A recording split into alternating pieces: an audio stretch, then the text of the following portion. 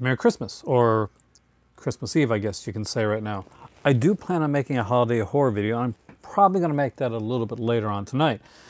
Uh, there's probably going to be nobody in this video right now. And uh, it's understandable. It is Christmas, and I hope you're all spending time with your family.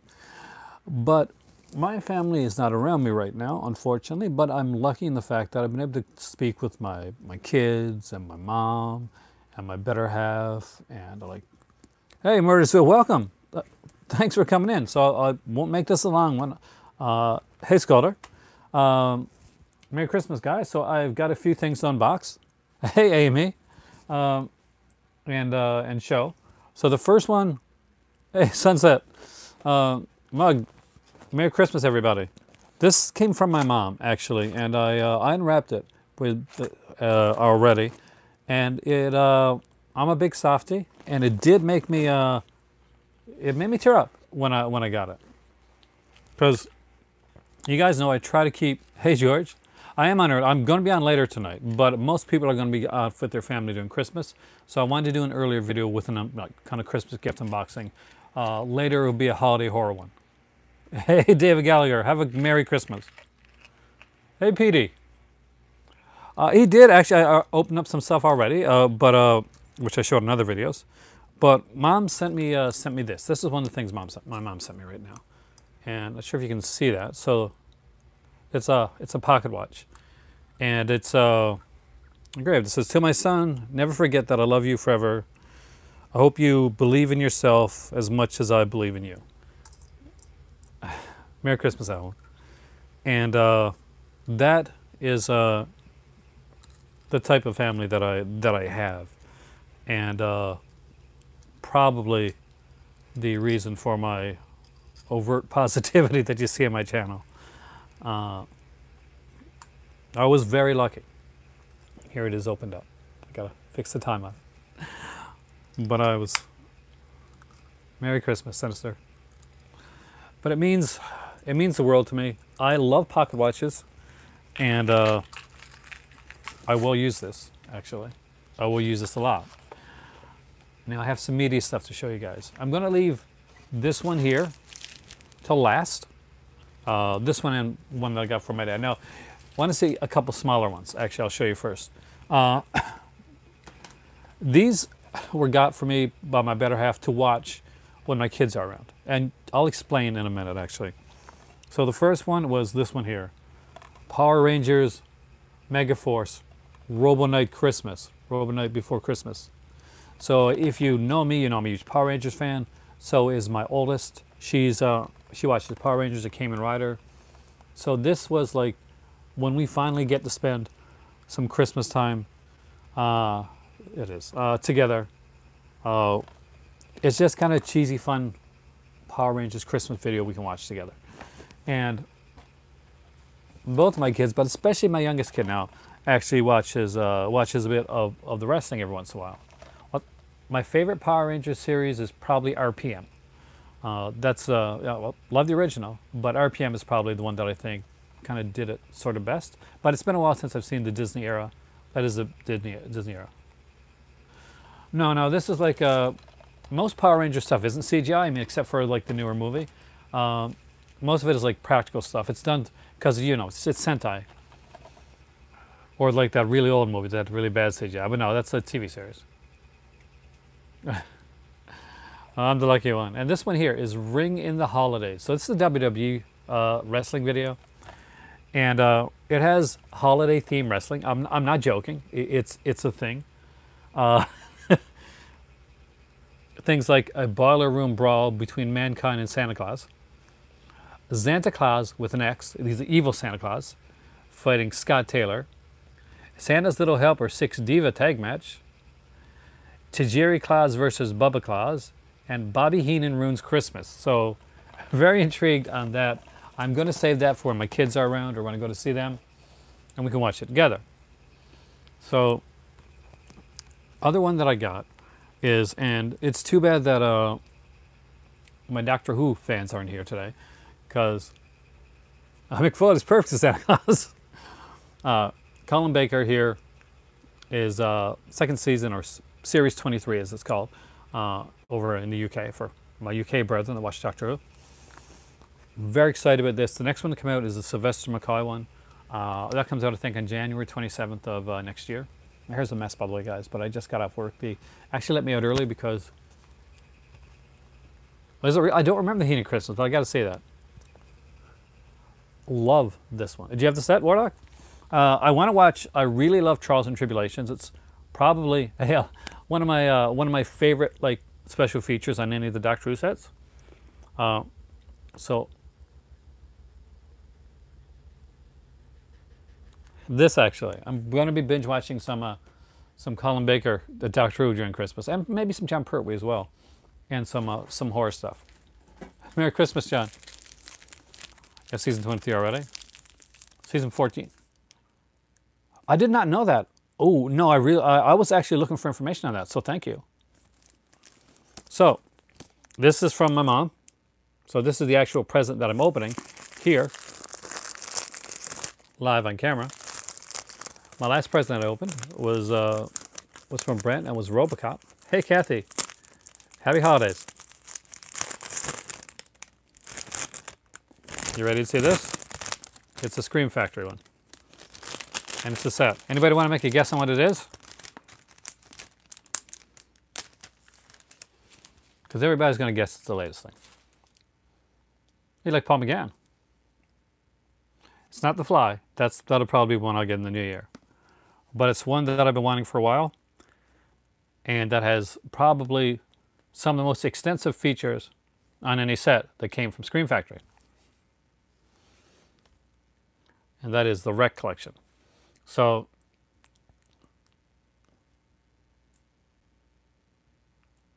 I am so in for that. I got the old one already. Now, if you don't have this uh, and you're a fan of the Rec films, I am a fan of the Rec films, uh, know that uh, some of the making ofs on this set are documentaries are longer than the actual films themselves. Uh, they really dove in depth with uh, with this series. Uh, well, the first Rec film is, a, you know, it's kind of the classic. You don't know exactly where where it's going with it. But uh, I got to say, I have been a fan. I don't think there's one of the Rec films that I felt let down with. Uh, now, that's not so much the same with their with their North American counterparts. Uh, the first one was Quarantine, which was pretty pretty good. Terminal, I don't remember very much, so I really can't tell but uh, been wanting this for a very long time. Uh, and I'll actually dive into it in a little bit. It's got all four here. We got Rec, Rec 2, Rec Genesis. If Genesis is the one at the wedding, I think Genesis is the one at the wedding. Um, you're right. I don't think I've seen Apocalypse either. But whichever one's at the wedding, that one kicked ass. I really like that one. For my dad, I have no idea what I got. Uh, my better half just told me that I couldn't look in the box. There was going to be something that uh, that I uh, that's that's kind of bookwise that I was really going to like. So let's check it out. Oh shoot! Uh, hell yeah! So because my dad doesn't know what, what movies to get me, what he's been doing uh, yearly now for the last three years is getting me like movie related books. Oh yes, uh, for my uh, for my collection. And he chose well again. I gotta say. So this is John Landis's Monsters in the Movies. Uh, wow, if Dad you're watching this, thanks a lot. Uh, Mom, Dad, you guys did amazing. Um, from the Rec collection to the watch that made me cry to this huge coffee table book. Uh, I got to be careful opening this because, you know, I'm not quite sure. Let's show you some of the, uh, this is. I know that there's pictures in this book here that uh, probably weren't available like uh, in other books and uh, we're taken from private collections. So should be a really, really fun well, I know it's really fun. Yeah, and actually I noticed that. I, I, did want to do a video on that, actually. Maybe I'll mention that during my holiday horrors video.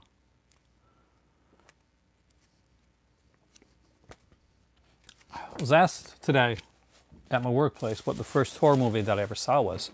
Uh, what kind of got me started? Well, the first thing that I ever saw when I was probably around three-ish, and it was Texas Chainsaw Massacre. It was at a drive-in. It's a long story, uh, but the ones that that affected me first, the ones that I remember seeing, aside from the exploitation stuff like uh, Clown Murders that would show on CBC every year, and the uh, BBC uh, edition of Dracula uh, that I actually have now, but have the uh, kind of like the negative like view for Dracula, like kind of like when I said negative view, the screen kind of went negative. Oh yeah, one hour photo was the first one serious one for Rob Williams there. Like serious is in that way. Rob World According to Garp is probably his first serious serious movie, and my favorite of his by the way. Uh, so uh, every year they would show the Universal horror films and some of the Hammer films uh, during the month of October on CBC and uh, during CBC late night. So this is a one. This is what you call a coffee table book. Uh, so wow, overall, I got to say, between the vinegar syndrome uh, stuff, the uh, the stuff from my my stocking, the the RoboCop that was uh, that, that, that was sent to me, and uh, and this here, uh, it's uh, pretty amazingly awesome Christmas. I am uh, super super stoked. I may be on my own for Christmas, but at least have my family. Like you know, if they're not here, like physically here, uh, there's people that I can reach out to and I can talk to. Merry Christmas, Weldon. And that's important. It's important to have that.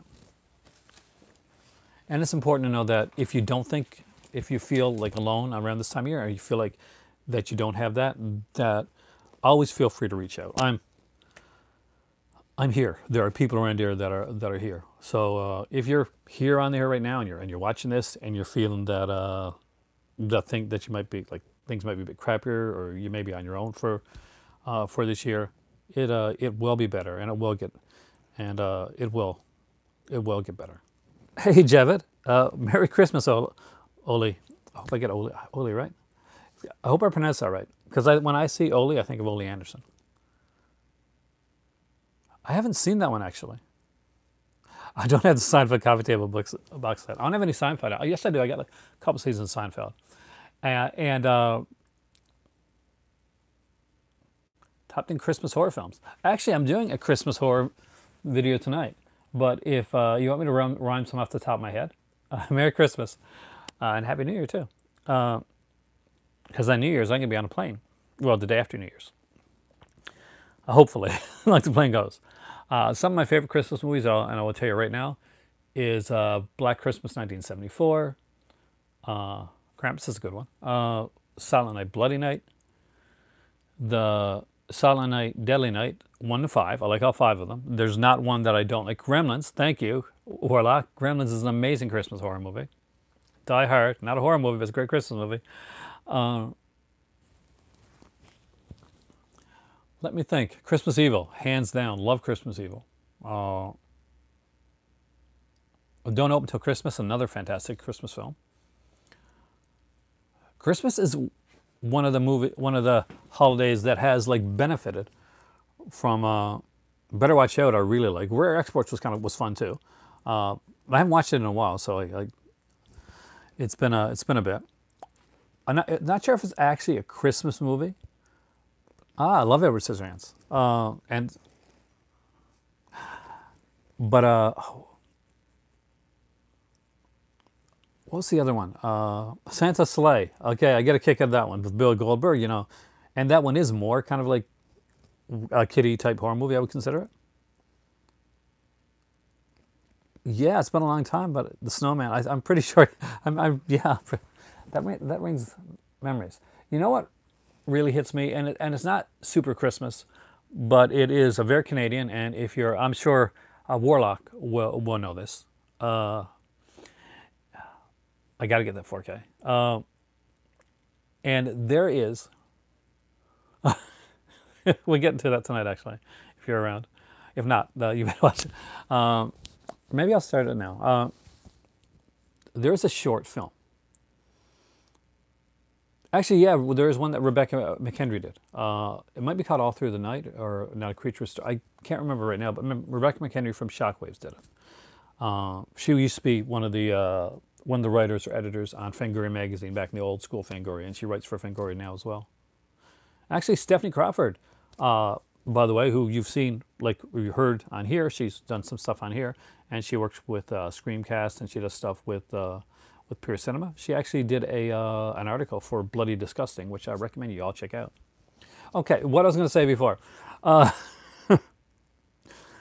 is that, uh, and Warlock's probably going to remember this because you're Canadian like me, right? I know you are. You're in Ontario. Uh, there was this thing called the sweater, and it is by Roch. Oh God, what's his name again? Oh, French a writer uh, from Montreal, and it's not so much that it's uh, that it's Christmas, but it's very Canadian. So it's this short, like animated thing by the Canadian Film Broad- Canadian Film Board, which is like a kind of they do like local stuff.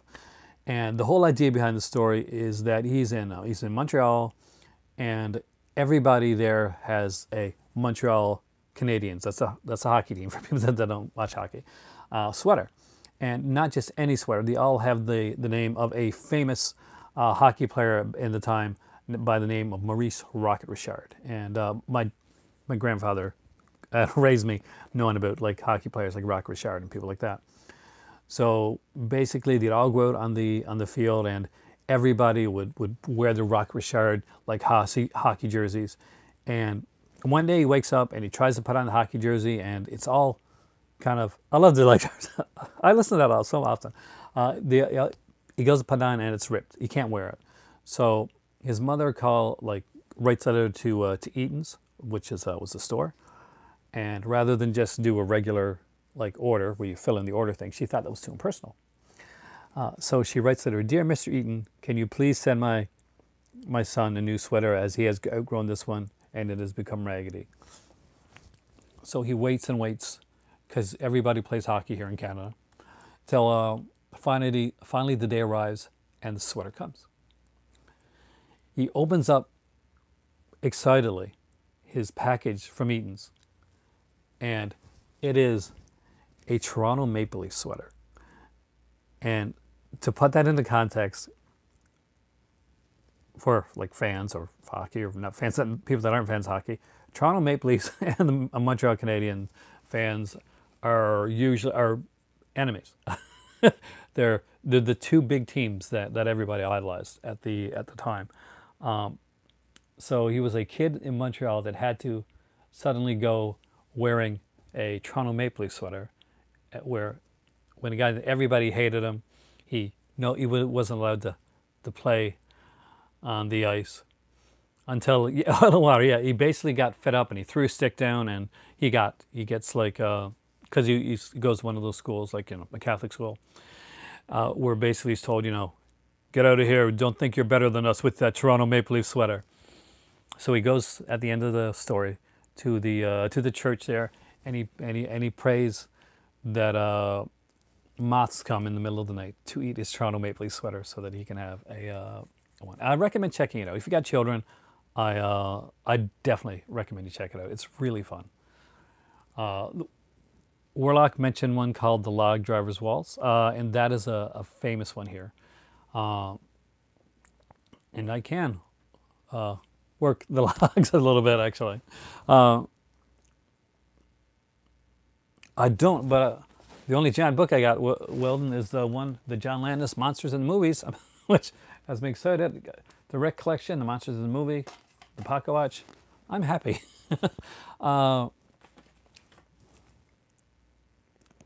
oh, I love Satan's Sleigh, uh, Santa's Slay.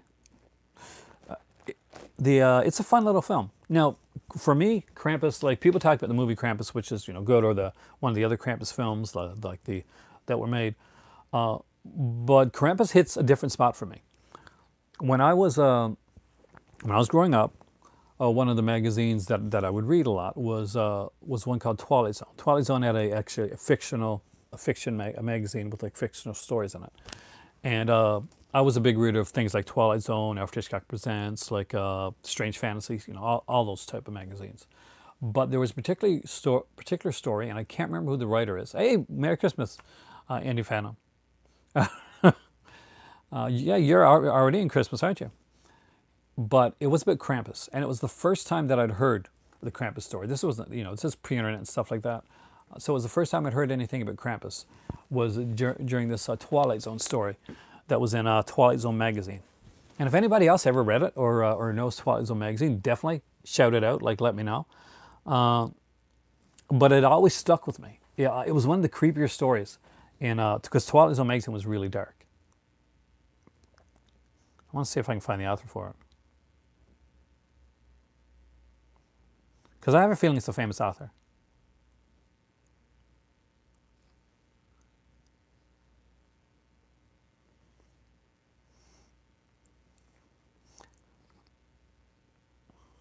Oh my god. I am going to scream. My leg is killing me right now, by the way. I had to come home on my lunch break to.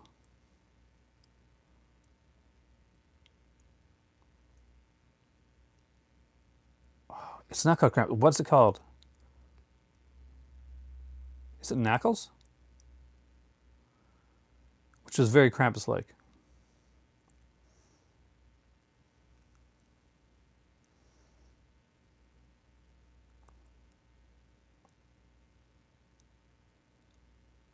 Maybe it was Knuckles. Uh, if you ever heard the story Knuckles.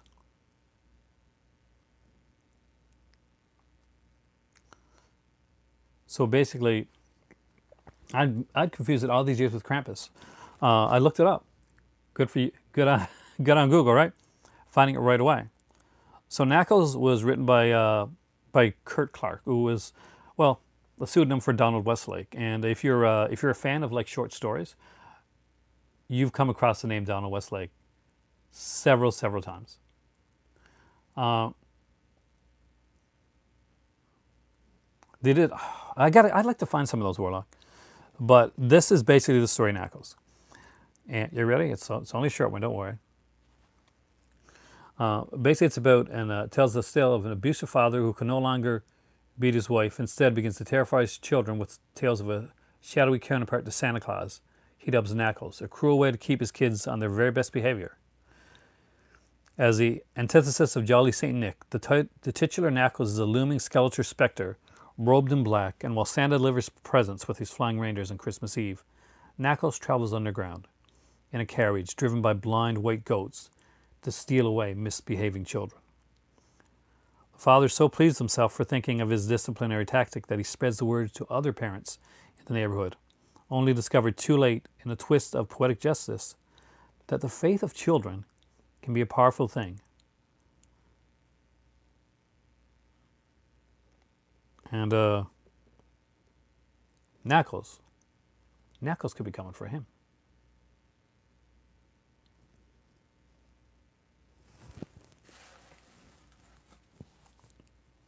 So be careful the stories you tell your kids to scare them. Because the imagination is a wonderfully incredible thing, but it is something that is powerful. Especially here in the Twilight Zone. Sorry, guys, I, I kind of had to do that. I can't believe I found it. Apparently, Oh, Santa Claus works. Do you watch Santa Claus? Uh, like the one that was, uh, what was it, Spain or was it like, was it Mexican? Or like with the, uh, with what's his name? Where Santa Claus is up on this big like kind of like planet thing, and he's got this huge, huge, huge, uh, like uh, what am I trying to say? Looking thing. Uh with an eye. It's really freaky. It's, it's really weird. And there's like the devil is going down. He's trying to like corrupt this uh, these kids. So Santa Claus has like elves, which are children from all over the world, which he uses to to make his toys. Slave labor. Indy, uh, you you, you kind of grew uh, in my in my in my mind there because my I was that was my plan with my uh, with my kid. Uh, uh, he was coming, and uh, we were going to watch uh, Polar Express. Actually, that was his one request is that we watch Polar Express together. It's one of his favorite. Gallagher, you know your stuff, man. I have that here actually. I've got like I've got it here under its original one, and I've got it here under Mystery Science Theater as well. So I have uh, both, but the Santa version, and I was I've got Santa Claus Conquers the Martians here on Mystery Science Theater under the Essentials collection too. So I might check out one of those um, a little bit later. I'm not feeling Christmassy, as in like I don't, I don't have a lot of the. I was I was pretty much the Grinch at work today. I was I was not feeling the uh, the best, but what my workplace did do for me, and I have to really say it means it means like meant a lot to me is that my better half is like six hours difference in, in time from where I'm, I am and she's at. So in order to make sure that uh, I could I could talk to her and that I wasn't going to miss out on see, on seeing her over FaceTime on Christmas Eve, they actually sent me home early. Uh, they got gave me a voluntary leave and said, you know, go home. It's Christmas Eve and you'll be able to talk to your better half. So I really, truly appreciate that. I work with some great people, even when I am hard to get along with. I haven't seen the Kurt Russell Santa film. Adam, you gotta love the Santa Claus versus, Mar- versus Martians. It's supposed to be horrible.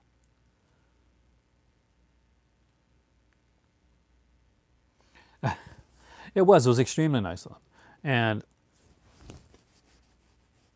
I was in my grumpy, grinchy mood. Uh, so it was very extremely nice. I, I strongly appreciated that.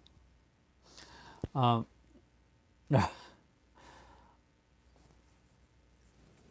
but tonight, tonight I watched some Doctor Who. Tonight I, uh, I might dive into the Rec Collection. You want to see the Rec Collection? You guys want me to open it up? You want to see what we got feature-wise? So what they did for the Rec Collection, and when I saw the, I knew Mom was getting me the Rec Collection, um, but when I saw like the case, I said, "Is this the, the Rec Collection?" Because it looks kind of, it looks smaller, and it's four films. So it's uh, it actually's got like these thinner cases, and I I, I really kind of dig that. Uh, so let's open it up. Let's check it out. I got to say, I've gotten a lot more Scream Factory stuff this year. Uh, unfortunately, there's no Doctor Who Christmas special since Chibnall came about. He he's kind of said there's nothing else to do with the Christmas specials, and he started doing New Year stuff. Uh, I'm not quite sure how I feel about that.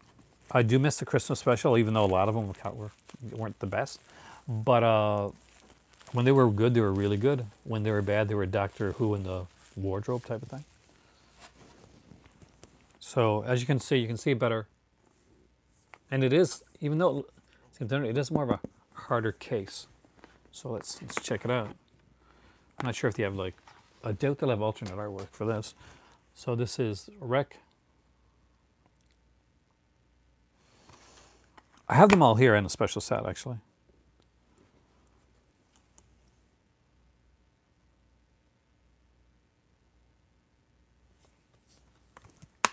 I know, us too. But we don't get the booklets, but at least we get, you know, get all the stuff aside from that. I think there's like a couple features on the couple of the early ones that we didn't have that, that you guys had. Eventually I'll get like the, uh, I'll get a couple of them. Like when I go over to, to, uh, to Morocco, I'll probably be getting them from England then. Because uh, I'll be buying a lot of my movies from there. That's why I'm getting the stuff that I want on Scream Factory now, because next year sometime I may be headed to Morocco to live. Uh, yeah, we don't get slips anymore either. Uh, only in the first, uh, only on the, I didn't even get on the first one. I got on the, on the two bigger ones. We celebrate, well, on the, we, 24th is Christmas Eve for us, Oli, but Christmas Day is, uh, is the 25th. Here in, in Newfoundland, we have a day before that called Tibbs Eve, where we, uh, we drink and uh, celebrate. Um, some people actually uh, call it Tipsy Eve as well but uh, the original name of it is, uh, is Tibbs Eve. It's the second, Rec 2. Some people actually like the second one better than the first one. So, by the way, features on these uh, first one, audio commentary uh, with the writer director, making of Rec. That's a, a long one. Uh, Boxing Day, yeah. Boxing Day in North in most of Canada is the 26th. Boxing Day in Atlantic Canada is the 27th because they take out the 26th for for religious reasons. Uh, making Rec, that's huge. Uh, teaser and theatrical trailer, TV spots, interviews, behind the scenes footage. Uh, again, with part two, we get deleted scenes, behind the scenes featurettes, a walkthrough of Rec, Rec 2 on tour, a Sitges Film Festival press conference theatrical trailer. And you may think that's not a lot. Actually, it is a lot when you look into how long some of those things are. Then we get to my favorite cover so far Rec 3 Genesis. I got. I dig this. I really do. Some people didn't like it. I, I really liked it.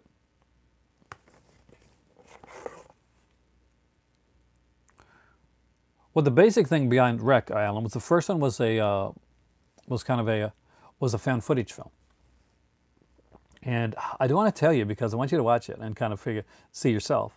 Uh, it's a it's a really fun film, and it's uh, it can get intense intense in some portions of it. Oh, I've not seen Apocalypse. Uh, this looks awesome. Uh, I love this cover. Making a Rec 4 Apocalypse. Right. So this is the cover to Rec Apocalypse. I don't want to say like just like a zombies type film because I think that that will be underplaying it. Um,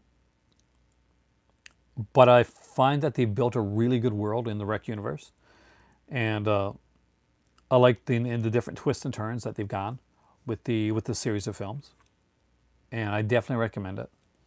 Uh, in North America, they uh, remade the first Rec film on called it Quarantine. So if you've seen the movie Quarantine, uh, that's that's Rec. Uh, that's the original Rec. that's one way to say it. It's a Japanese woman on a ride along with firefighter medics. That is that that is legit true. And then something happens, and that is Rec.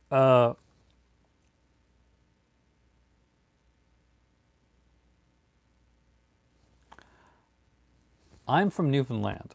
We are known I, although I'm not like a huge drinker, uh, never have been. That's just me.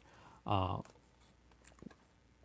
there's like you know, obviously there's a stereotype of the uh, of the hard drinking Newfoundlander.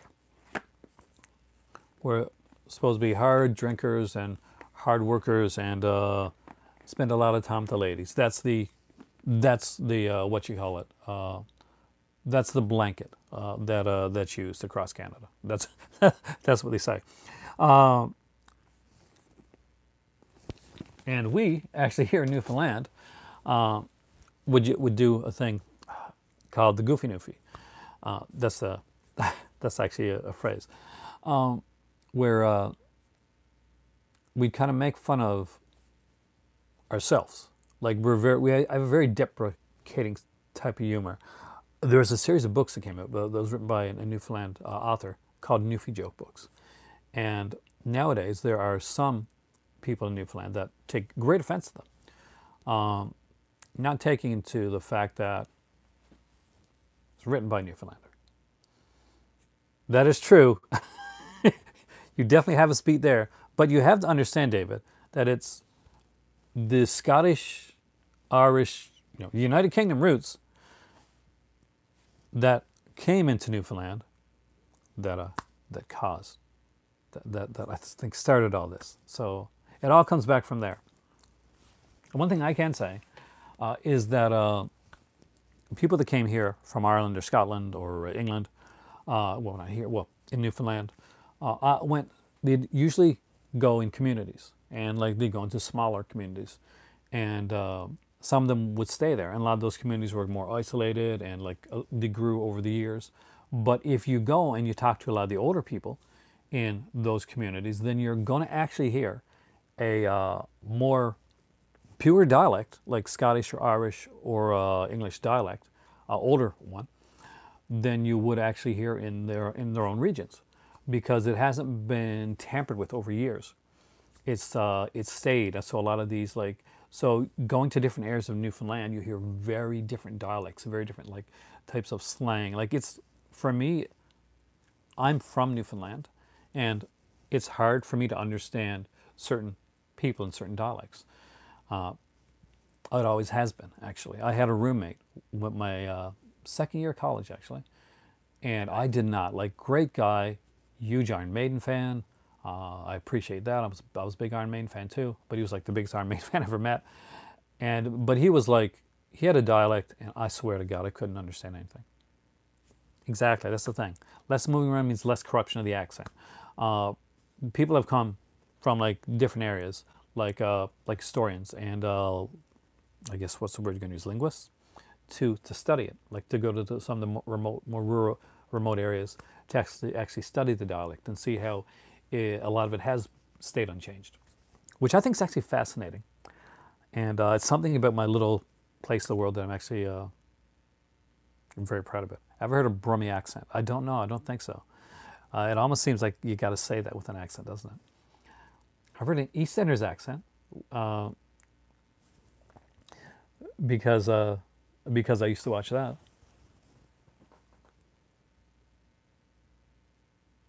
That's the. It's fa- I find it fascinating. It's something that I, that I, that fascinates me. Birmingham.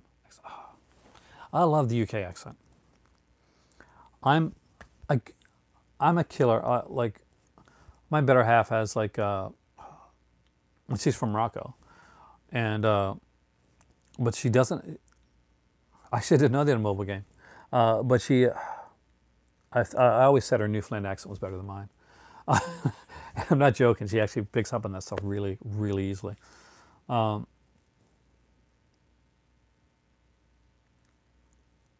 what David Tennant is talking in his regular in his, regional accent. Peter Capaldi always.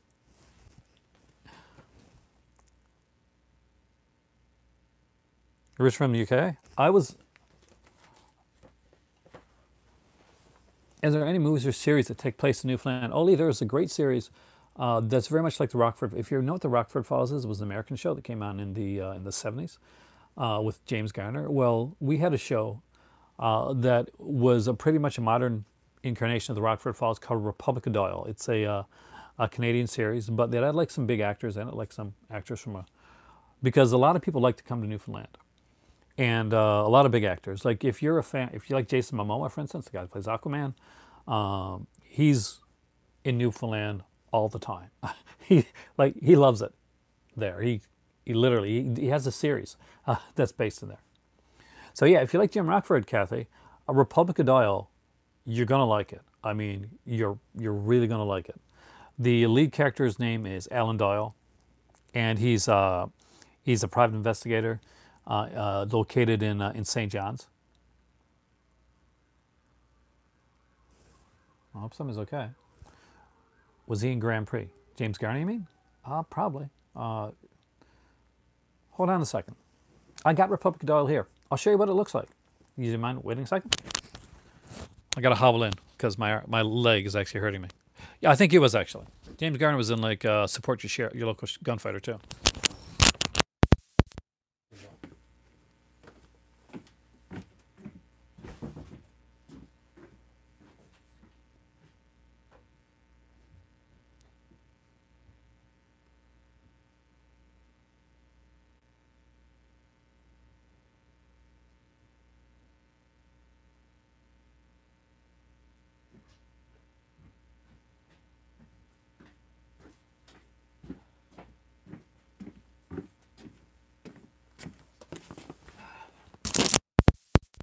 Actually, have two copies of season one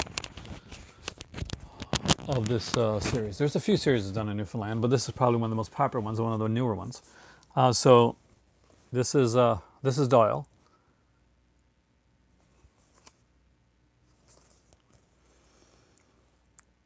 And he's played by Allan Hawco, who did like uh, a few different things.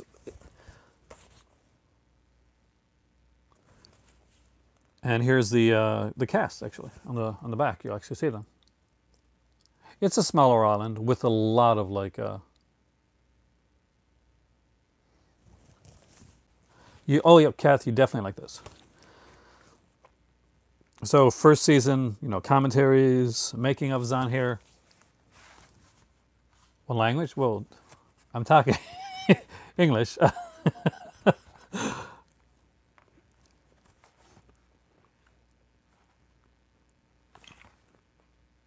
and this runs like uh, this one runs 12 episodes, I think. And Labrador, Newfoundland and Labrador, yeah. Oh yeah, they speak French here. Uh, like not everybody. Uh, we should know French better. To be honest with you, there's a lot. There's um, where I'm at right now. Nova Scotia probably has a has a bigger French-speaking base than uh, Newfoundland does. Uh, we're taught French from early on. Early on, whether we once we re- reached high school, it's it's not mandatory anymore. You can choose to take French. You can choose not to take French. Um, I wasn't the best at it, and I chose not to take it, which was a huge mistake. Um, and I uh, and now I've got to get a, a, French tutor when I go to Morocco. That that's I'm not even lying. I, I have a French tutor set up uh, so that I will learn to speak French. So if I get any like bilingual viewers on here, maybe I can put on some snazzy wordplay.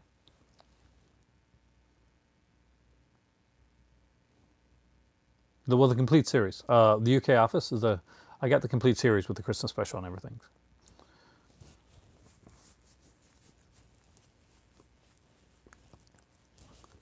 Same with extras. I got extras too. Extras is my favorite. I, I like extras over The Office out of those two shows.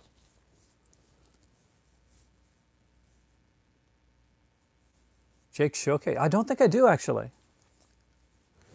Uh, I know, uh, or I don't know a lot of them personally, especially.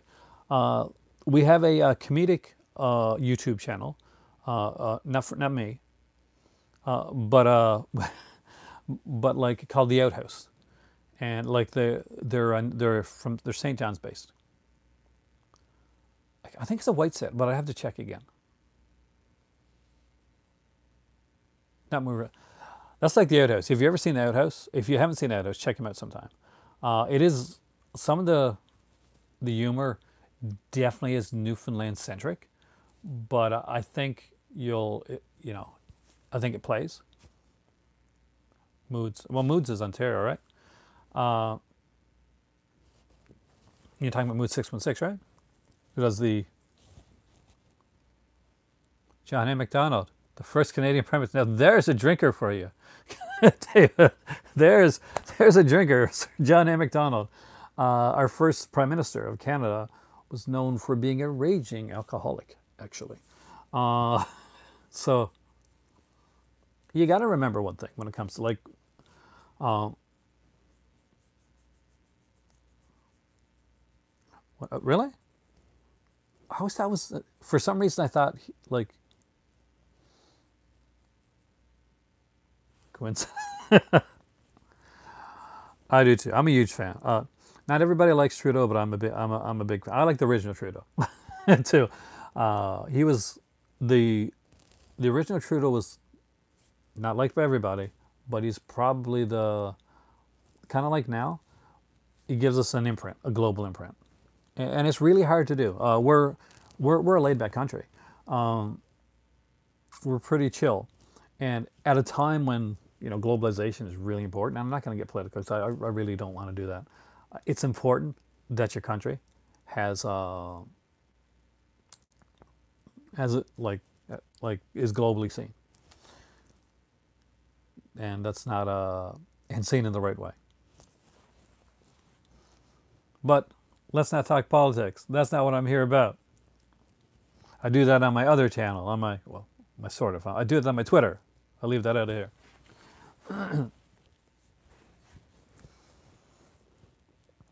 Until I run for politics, then, then you can vote me for prime minister. Because why not? Shag it, right? I almost got into politics, actually. Which I think would have been hilarious. Because you can,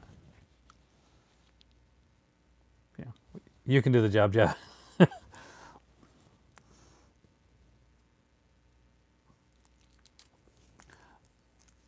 well,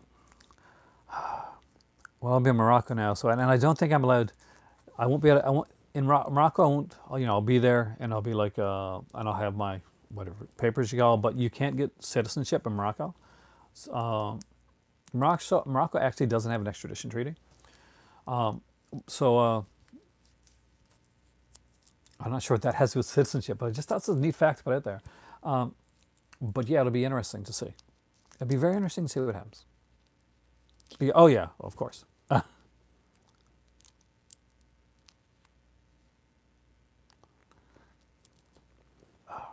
there's there's a couple Canadian shows I'm not exactly proud of uh, out there. Is Kenny versus Spenny Canadian? Because if it is, I apologize. I don't know for sure. It might be American. Uh, but if that's Canadian, I, I, I, sincerely apologize that that's the thing. Uh,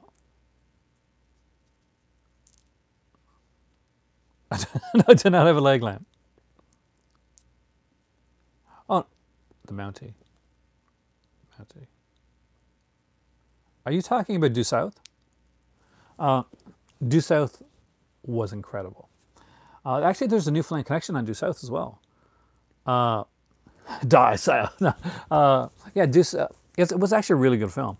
Uh, really, good, series. Uh, the guy that plays his dad is uh, was Gordon Pinsent, and uh, Gordon Pinsent uh, is a, a, Newfoundland actor that is well known and uh, was a friend of my grandmother's actually.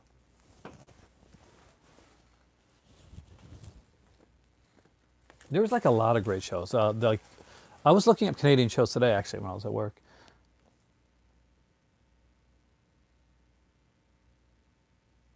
You're lucky to be in California, dude. I'd love to visit there. We had planned to. We, we do plan to. Uh, we're just waiting to. Uh, we're waiting for a bit. We'll see. We're gonna get. We'll eventually get there. We want to do like the whole Disney World Universal thing, Six Flags. You know, my better half's a huge like roller coaster fan, and she wants to. She's always wanted to get on roller coaster with me. I'm a huge chicken, so I'm, I'm getting on it, but uh, I'm not gonna like it. The Beachcombers ran for a long period of time. Started Bruno Gerussi originally, uh, who was a, uh, a Greek actor here in uh, in Canada. that happens a lot, actually. Uh, that's like uh, Bonanza was a big show, like in like a Western show, um, and uh, a lot of people didn't realize that Lorne Greene, who was the, you know the head of the of the of the family, was uh, was Canadian. Actually, he was the face of of, of the war. He was the he was the voice of the war back actually. Danger Bay. Danger Bay was huge. Uh, Danger Bay was so huge actually that my better half went into marine biology. Uh, from like one of her, her big things that she saw back in the day was Danger Bay, which was a, a great like little kind of half hour kind of kind of an adventure uh, show for younger people. I actually still like it. Um, King of Kensington, something I grew up with. I was in love with Kathy when I was young. Uh, if you know King of Kensington, you know exactly who that is. Uh, but it was a uh, Kensington, by the way, is uh, is an area in Ontario, and uh, go to like Kingston Market, like it was a, a big deal. But it was a melting pot of uh, of cultures and different ethnicities. And King of Kingston started out Waxman, who unfortunately has passed away now, but he's been in many shows, and I'm sure that each of you have seen him somewhere in something, whether it's Death Wish Five. I apologize if it's Death Wish Five, but he did a, the idea behind King of Kensington was to uh, have to show a guy like a working class guy and the people around him whether like and to show what a melting pot Canada was and uh, kind of celebrating our uh, our diversity. A lot of the early shows did that. Um, King of Kensington uh, did it. Uh, Beachcombers was was big on that. Uh, it was only like it's only later on that they stopped that so much, but uh, even now it's getting better. A Little Hope be awesome. That was another one. Matt and Jenny. I'm not sure if it, Warlock remember Matt and Jenny. Uh, it's probably just me and you, but Matt and Jenny with uh, Megan Follows, great show. But my ultimate, ultimate box set, Canadian TV box set that I want more than anything else, hands down, across the board, is Luigi Coney in Seeing Things. Yeah, And if you've never seen Seeing Things, look it up on YouTube. Dreams are for the nightlife, not the wide awake. Visions are for crazy men, not me for goodness sake. But I'm seeing things. It was an amazing show. And uh, hey, 13 Wolfman, Merry Christmas, dude. I ended up with some nice stuff this year. And some nice box sets, some nice books. you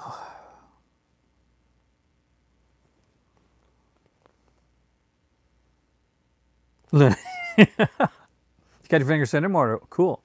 I is the video up yet? When the video comes out, let me know. Like Facebook me. You know I want to see it, man. I don't think so, Warlock. As if it did, I'm, I'm totally unaware of it. Uh, I haven't seen any like release for Seeing Things. Seeing Things ran for I think six seasons, um, but uh, no, I don't think it's ever gotten a release. Only if they put them out in the unaltered versions, then then I'll, then I'll probably get I'll probably get them anyway. I'm a sucker, yeah, but I'm a huge Star Wars fan. I haven't seen the one yet. I actually got that put on my watch list. Toonies, yeah, loonies and toonies. I missed the dollar bill though. I'm I'm an older guy. I remember the dollar bill. I remember the two dollar bill. I, for a while, I had like like I kept some. What Christmas cartoons do I have? A lot of them. Uh, but it's really hard to say. Uh, a lot of the stuff is like like I, I, got I got like the the Flintstone stuff, but it's within the sets, and uh, a lot of them are within like like you know TV sets, like uh, series sets. I don't think, and I got like what's called this one? Oh, what's it called? Like this Christmas cartoon set, like the classics like Frosty and Rudolph and all those and the Grinch. Huge Grinch fan. You're a mean one, Mr. Grinch. Chicken lady. Are you, you're uh, are you referring to uh, not four on the floor, but uh, Kids in the Hall? I was never a big Chicken Lady fan. Never got into that one. I like the crush your head character. Crush, crush. Oh, he's so bloody. Uh, if you don't, if you don't know who that is, you're totally baffled right now. Uh, there was a show called Kids in the Hall. A lot of the actors went on to become very famous.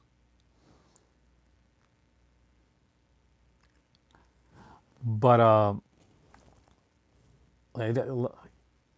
Mr. Canoehead, that's four on the floor.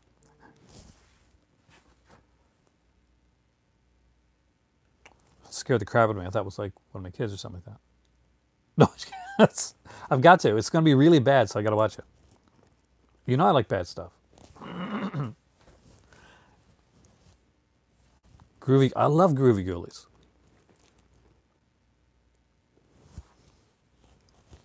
Do I, do I, do I, do I?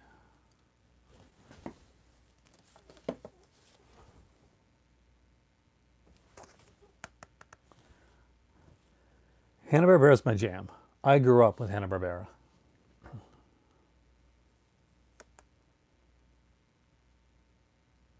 I got some of the Rankin Bass ones. Uh, I don't know if I got them right here, like they're probably in the other room somewhere. but I do have like a set of them that actually came out. But I, uh, oh wait, I got some here. Yeah, so this is one of the sets I got, the classic Christmas favorites. Oh, huge Mr. Magoo and Pink Panther fan. I like Mr. Magoo. My better half likes Pink Panther more. I don't have any. Do I have any? I don't think I have any Hilarious House of Frightenstein. But this has on it Dr. Uh, Dr. Seuss's How the Grinch Stole Christmas, Pinocchio's Christmas, Stingiest Man in the World, The Year Without a Santa, Rudolph's Shiny New Year, that's horrible, Nestor the, Long, Nestor the Long-Eared Donkey, Frosty's Winter Wonderland, Twas the Night Before Christmas, Rudolph and Frosty's Christmas in July. I guess I need the Rudolph and Frosty actual original ones, don't I? Though a pretty good set. Like definitely well packaged when I put together.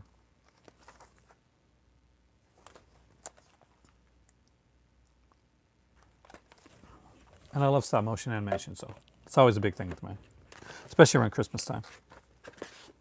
Because that's what I grew up with, with the stop motion stuff. Even like the, when Fox's Mad TV did like a stop motion animation, kind of like making fun of like the uh, those. Is it your birthday? I'm not going to sing happy birthday, but I don't sing. I do have Mad Monster Party. That's a that's that's a that's one that you gotta have. Uh, if you like stop motion animation at all, and you're you're like a, a monstery type person, you like the classics, Mad Monster Party is a must. It's a must have in your collection. But as you guys can probably tell, I'm a huge fan of like of animation, and uh,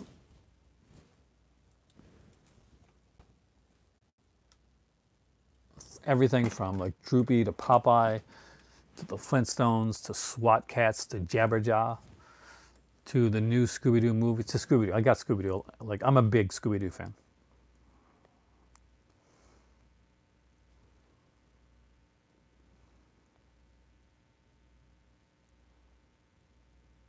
Speed, haha, Speed Racer. yes, yeah, yes, I'm a Speed Racer fan. How about Irwin Allen? Quinn, oh, Quinn, Mar- uh, Quinn Martin production. Chapter 2 Death from Below. Yeah, I watch a lot of Quinn Martin. the thing that I that I watched a lot, you're Batman. Uh, and I th- I think became much more influential on my on my life than I ever thought it was going to be. Was a show called Minder. Does anybody know of a, ever hear of a show called Minder? Uh, originally with Dennis Waterman. Um, Yours cool, exactly. You know Minder.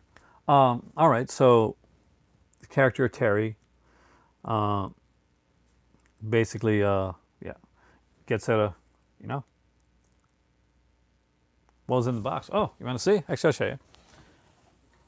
What I was saying before, though, was I grew up watching this show, Minder, and for portions of my life, not prison, I'm not you, but that that that's pretty much me. Uh, the the you know the Minder type, the guy that takes care of stuff. Uh, so it really became personal actually after a while. Looking back on it and realizing, okay, wow, I didn't think my life was going to take that direction, but okay. So I got this from my mom. You're getting sleepy. And it made me cry because it has a nice message on there.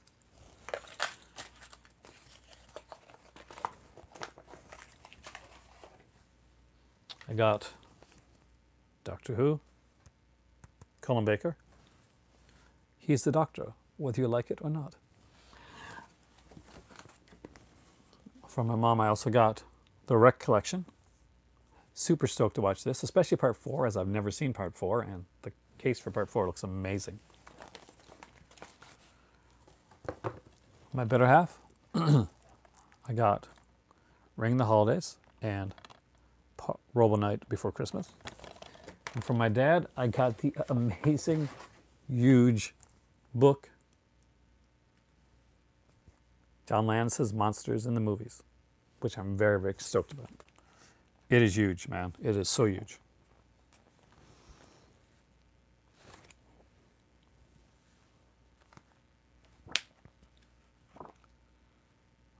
Part of me wants to take this Morocco with me and put it into the. Uh, I want to take something from my mom, something from my dad, and put it into uh, into my condo.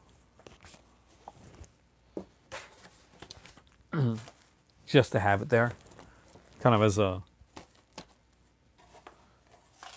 So that's what I got. Uh, my other Christmas gifts were my vinegar syndrome stuff, and uh, the other stuff that I showed earlier.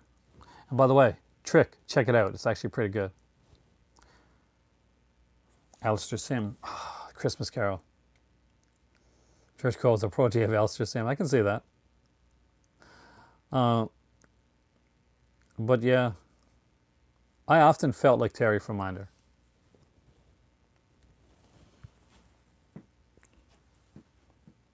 School for Scoundrels. It sounds like I've seen it. I'll check it out though. Uh, well, what I'm doing it's it's two prong actually.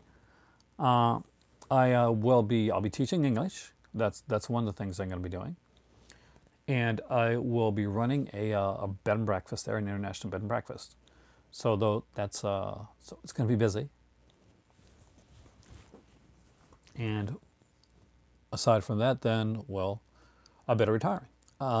So that's going to be my, my work that I do through retirement.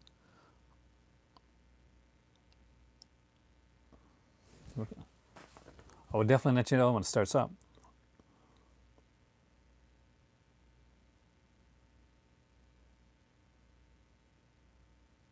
It is sad to think that John Landis had no line, especially the stuff that he's done. The Ford Capri. well, the only other white Ford Capri early on. Later on, there was other cars as well, uh, because you know Arthur was a used car salesman after all. Uh, no, I was not the person that uh, that that drove the car. I was the person that went and talked to people. there was issues. That was me. Uh, oh yeah.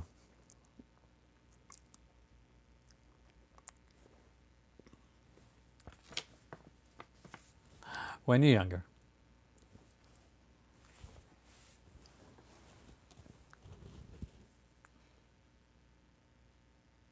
Uh, yeah, but later on, there's a few different ones. Did I watch Nickelodeon's first? No, actually, I did back in the day. I remember that movie.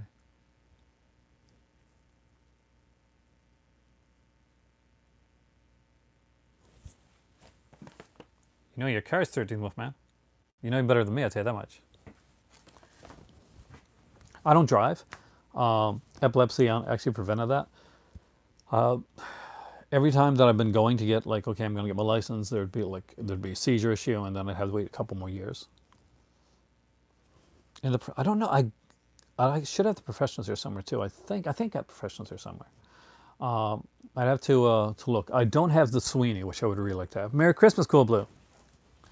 Or any of the Sweeney movies. Um, the Sweeney was a show that also with, uh, that I used to watch. I watched a lot of British TV.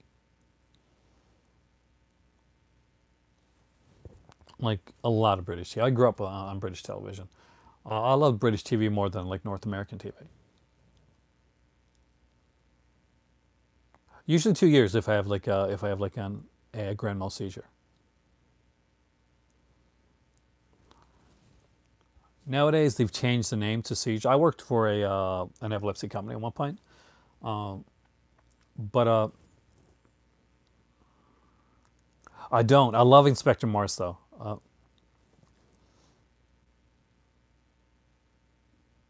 Uh, Life Snows with She I'll, I watch Dennis. It's so weird. What do I think? I like the swing. Well, I don't know if I've seen the second one or not, to be totally honest with you. I know I saw the first one, but it's been a long time. Um, but I like I like the Sweeney. I, I like the show itself. Um, so I kind of dug the film. You know, it was the original cast. I, I kind of dug that. Um, but I haven't seen the second one. But I do want to get the Kino ones. Yes, I do have Are You Being Served, both the original and I got the when you know when they did in Australia, like that short-lived Are You Being Served Again? Remember that one? Um, I got that as well. Going up. I love Dennis Potter. Uh, Lipstick on My Collar, I like better than Singing Detective. Lipstick on My Collar, I grew up with. That's one of the shows that I wa- that would come on my on PBS a lot, so I ended up watching it. Um, I'm a huge music fan. I don't like talking about music on it very often, but I'm I'm big into uh, in, in into music and uh, musical programming. So uh, Dennis Potter does have a lot of that, like in his uh, in his stuff, in his uh, in his shows, and he utilized it well. Are you freak up to Peacock? I can't say what the girl would say, but there was a character.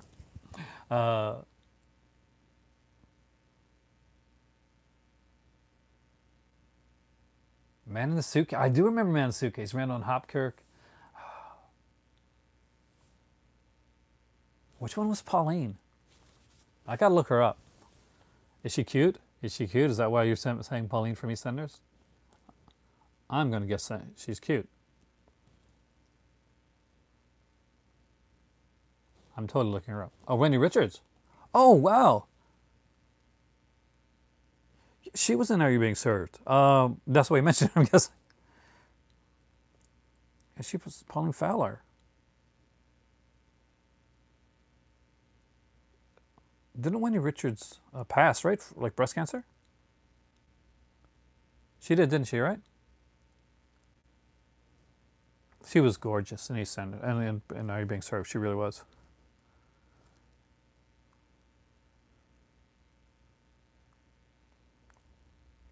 She got to say Pussycats. That's why that didn't go through. the Baron, The Invaders. Oh, the Invaders was Roy, Tyne, was Roy Thinnes. Uh, it didn't last long enough. Great series. Uh,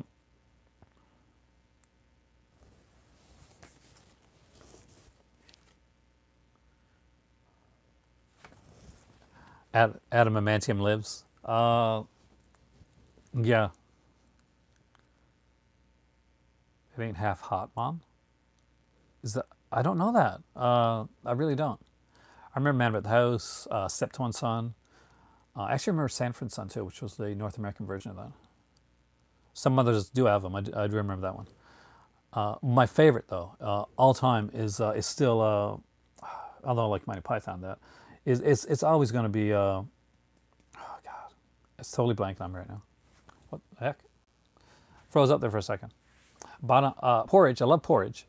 Um, that was, and of course the two Ronnies. It's good night from me, and it's good night from him. Uh, we had our uh, Canadian edition of version of that, which was uh, Wayne Shuster. And yeah, Shuster was related to the guy that created Superman. Oh, I love the Anderson stuff. Let's go to the Thunderbird thing. the young ones, I love the young ones. That's Rik Mayall. Rik Mayall passed away too. He was in like uh, Drop Dead Fred, and uh, he had a part in the uh, in Shock Treatment as well, actually. Red Dwarf. The one that people don't talk about enough, and that I'm surprised, um, is uh, Blake Seven. Oh, cool blue. I grew up with with. Uh, I'm I'm from Newfoundland. Uh, we had a channel called CBC Canadian Broadcasting Corporation, and they would show like a ton of shows from like Return of the Saint with Ian Ogilvy. Um, Doctor Who, Red Dwarf, uh, Blake Seven, uh, Steptoe and Son, some others do have them. Like we had a lot of this stuff. Um, and as I grew up, I, I, kind of gravitated a lot more towards uh, that programming. Only Fools and Horses was probably my favorite uh, throughout the years. Uh, lovely jubbly. What's uh, really cool is like if you've never seen Only Fools and Horses, like when originally first came on, you get the box sets, and it says like, as Del Boy always says, lovely jubbly, right? And he doesn't like the first three, four series of that show. Those words never used. It comes up way later on in the series. it's in the later seasons. So if you're a new person going in and you're like you're looking at the back of the BBC set and says, as Del Boy always says, lovely jubbly, and you're watching the show and you're like, it's nowhere. It's nowhere in this series. What do you mean he always says that? Well, they had HMV in America.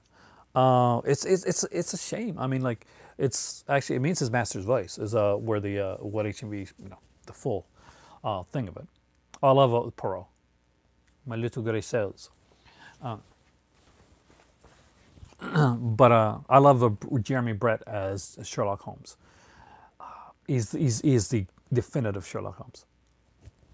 Whenever I saw him in anything else, like it was like a Magnum PI episode or uh, or My Fair Lady, for instance, it was always always baffled me afterwards. I'm like, my God, that's that's Sherlock Holmes. It was so like entrenched as, my Holmes. Uh, like I like the new guy, I like Benedict Cumberbatch and all that stuff as well. But uh, Jeremy Brett, like my is my Sherlock. He's the he's the one that I that I grew up with, and it was so so well done. Open all hours. Yeah, uh, that actually, you know, the guy, of course, you know, from only all only fools and horses, and the guy from Porridge.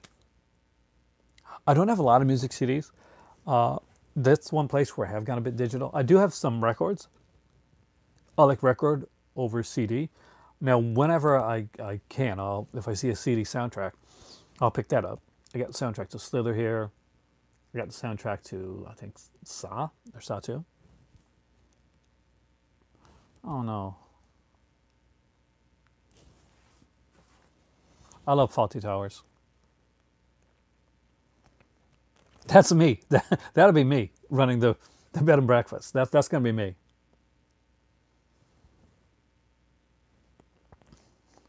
Basil? yes, that's going to be me. Um, open all hours. David Jason and uh, and if I'm correct, it was the guy from Porridge too, right? Like one of the Ronnies. Am, am I right? Did I, did I did I mix that up?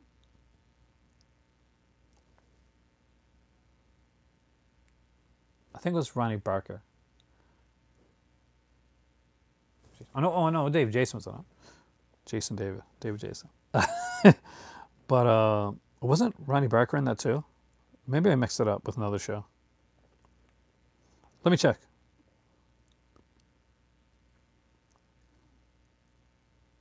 No, it's Ronnie Barker too. Yeah, because that was part of uh, 7 1. Ronnie Barker had this like, like short-lived, I guess, uh, called Seven One. Well, I guess it wasn't short-lived. It was. It ran. It ran the gambit of its course. Uh, so Seven One was was an anthology series. Like was a. Really, what it was was seven pilots. Aaron rich. Uh, so, Open All Hours is one of them, uh, with uh, with him and David Jason. Uh, Prisoner and Escort was another one. That one uh, is the one I'm pretty sure became Porridge. My Old Man, Spanners 11, I'm not sure, I don't think that one. Another Fine Mess was very much a Laurel and Hardy type one. Uh, one Man's Meat, and I'll Fly You for a Quid.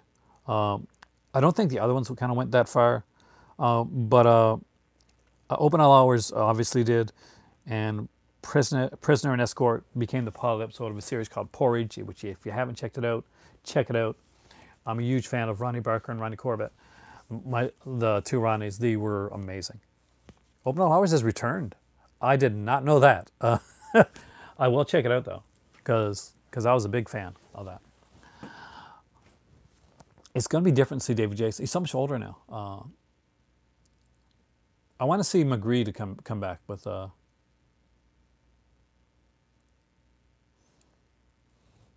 I don't. I haven't seen that actually. I'm going to look that up. I want to see Maigret come back with uh, Rowan Atkinson. I really like the Maigret films, Maigret films that he did.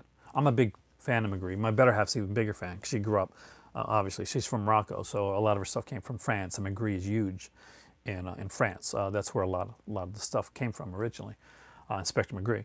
If you haven't checked the Rowan Atkinson Inspector Maigret out, check it out. It's, it's really, really good. Um, extremely well done. Now, there are some, uh, some of the old, older films that were put out. Uh, like Kino put them out recently. Not the nine o'clock news. I remember that.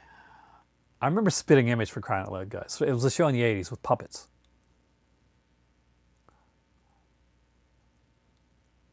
Jean Gabin. Jean Gabin is one of my better half's favorite favorite actors. Uh, like she introduced me to Jean Gabin. I, I that I will be completely honest with. Uh, like I did not know his stuff as well. Um, that's like Lino Ventura. I did not know Lino Ventura that well, but my better half really introduced me, and I really kind of fell in love with his work. Fry, a, a, bit of Fry and Laurie. I love Fry and Laurie. Michael Gambon. I, I think we, I got a Michael Gambon Maigret here, actually. I think my, my dad gave it to my better half one year. I watch more British stuff than I watch North American stuff. Is that sad? Um, I'm going to say your stuff just is more fun. If you like mystery stuff and you haven't checked it out yet, Agatha Raisin, check it out. It's really freaking good. Uh, it's the girl from Extras, actually. Wow, it's been going on for six series, and I did, and I didn't know it. No, I had no idea. Enjoy your ham. You want to know what I'm having for Christmas? For Christmas dinner? When I'm having a Christmas Eve dinner? I don't know. I actually, I haven't heard anything on new, new Captain Scarlet film uh, recently, but hopefully uh, it'll be good. I'm having a hungry man. Don't laugh at me. I'm serious. Uh, since my uh, my young one is not coming in anymore, and I don't feel the need to like put up the Christmas tree or to, or to cook, uh, I got a uh, a hungry man turkey dinner for for Christmas Eve. That's my Christmas dinner.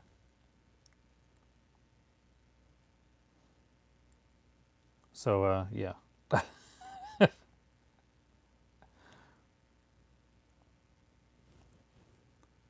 tis the tis the truth. I thought about like ordering a pizza. So that's a Do you cook Murdersville? I'm not a cook. Uh, I'm not a really great cook. I've I can make certain things like like I can definitely do certain things. I appreciate that, Kathy, but it's a bit of a flight. I uh, and I had to work. That's the thing, right?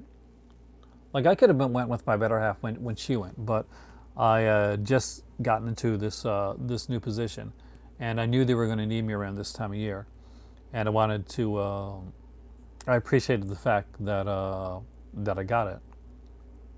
So uh, I wanted to be there for them when they needed me.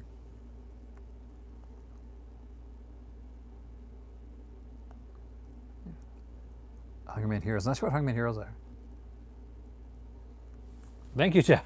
I'm glad to keep some people entertained.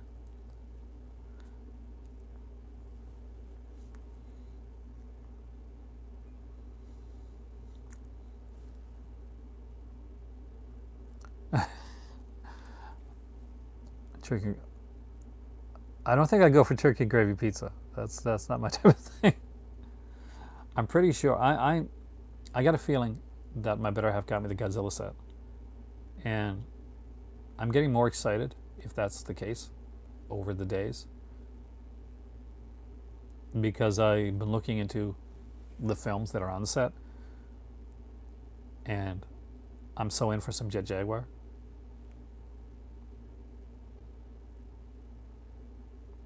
She always pulls like a surprise gift, uh, something that I don't know. And I thought it was going to be a Power Rangers thing, which I was kind of excited about. But I think she's gone big with it. Which up?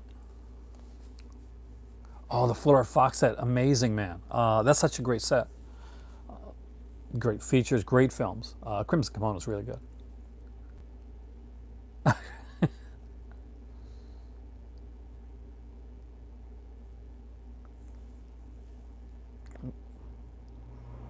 That's my guess anyway. It could be something else, so I could be totally wrong, guys. Uh, but that's my guess right now. I'll keep guessing differently. Uh, see this Doctor Who said that was on the on the list, right? Uh, but uh, obviously she told me to go out and buy that one, so for myself for Christmas. Uh, so that's not it. And I mentioned Power Rangers, and she said that wasn't. You know, she said that wasn't it. I'm a little bit nervous. And I mentioned uh, Ultraman, and I don't think that was it. So I'm, I'm wheeling it down, actually. House of Bamboo. Isn't that Vincent Price? Didn't Kino put that out, or am I thinking something else?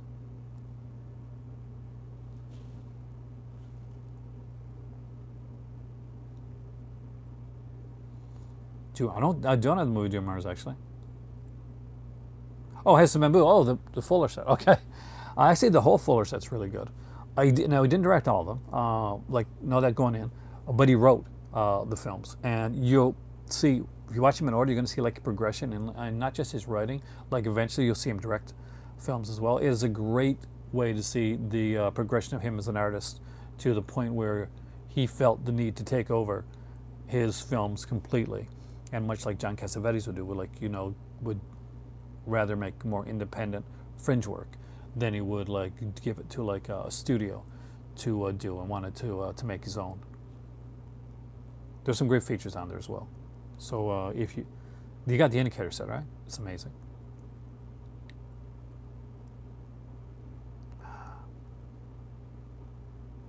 I love that at season. And Matt Smith takes over. My favorite line is still though when he's tying his bow tie, and he's like, you know,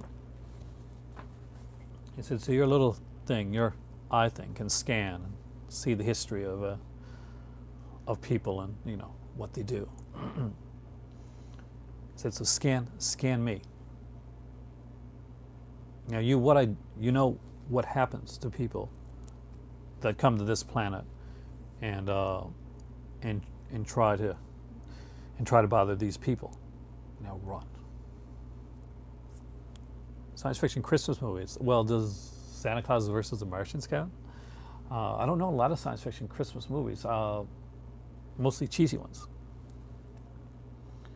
So that I'd have. I can't think of any like off, off the top of my head. I got more horror Christmas movies. I'm a big horror Christmas fan. Like I, I usually watch like Black Christmas on uh, on Christmas Day. I used to watch it on Christmas Eve when my kids were around. That became Christmas Day when uh, when my kids got older and they weren't around. Um, has anybody heard of In Search of Darkness?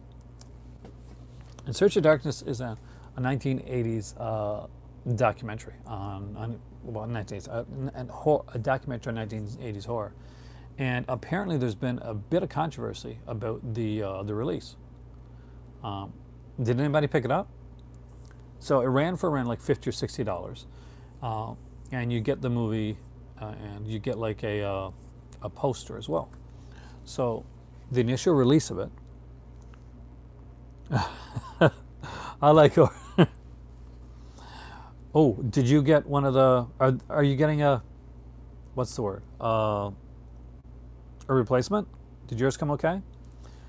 Because some people were upset that theirs came as a as a BDR, and the label on the disc came off.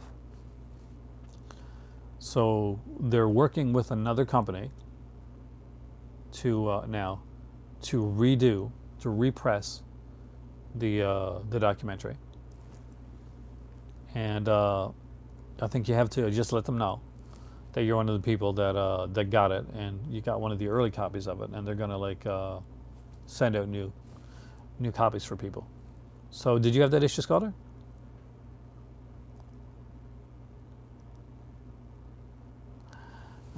Have you heard about that? Apparently, the first company that they did it from did it uh, did it on the cheap. They put them on BDR discs with with slapped on labels. Uh, but they're working on like uh, getting it. Uh, they're working with another company now to get it out there and get like quality editions of it done. So you you'll be able to get it, be to watch it, and they'll probably send out another one to you as well. so You'll get both. Me too. I just found it, found out about it. Uh, and they're doing another like documentary right now, like on science fiction. So hopefully they get this one straightened away because it's going to scare off some backers. Uh, and I don't want that to be the, the case. I, am a huge documentary fan. Uh, morning, Dale. Merry Christmas.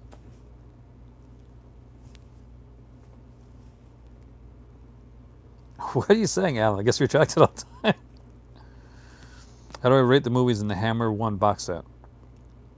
I don't have the fourth one, obviously, because they didn't get it my way. Sorry. Uh, what am I getting for Christmas? Uh, well, I got it. Uh, the Angel box set, Spookies, the two VSAs that came out, uh, a uh, pocket watch. Oh, the action one. That's what it is. A pocket watch. Uh,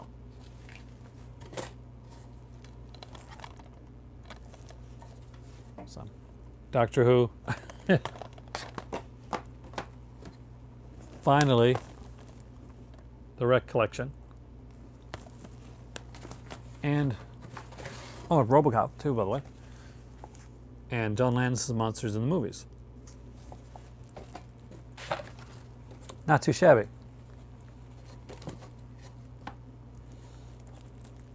And of course, some uh, some DVDs as well.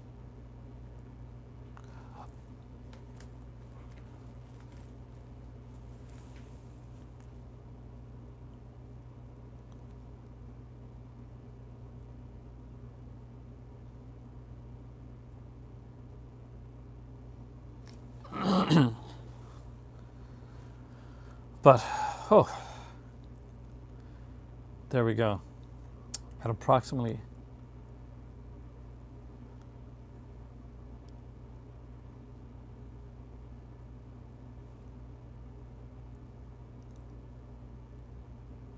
and the one that I'm getting, the surprise one, which I'm still waiting for, which is coming next week, I think. So hopefully I'll get to show you that one before I leave whether it does turn out to be Power Rangers, whether it does turn out to be Godzilla or the Fly Collection, I'm not sure. Uh, could be either one of those. Either way, I'll be really happy. Whew. All right. At 85 minutes, the uh, length of a decent exploitation film. Just hitting that sweet spot. Merry Christmas to everybody. I hope you guys have a fantastic Christmas. You enjoy Christmas Eve with your family and your friends and your loved ones. And if they're not there right now, uh, I'm not celebrating Christmas. I am celebrating in a way. They're not here, Ragman. Uh, but uh, I'll be contacting them. I'll be talking to them later on. Have a great Christmas, guys. Jer- Jeremiah, great, uh, Merry Christmas. I'm Aaron. This is my movie library. You guys, you guys are the cult of cinema, and I hope you guys have a fantastic Christmas.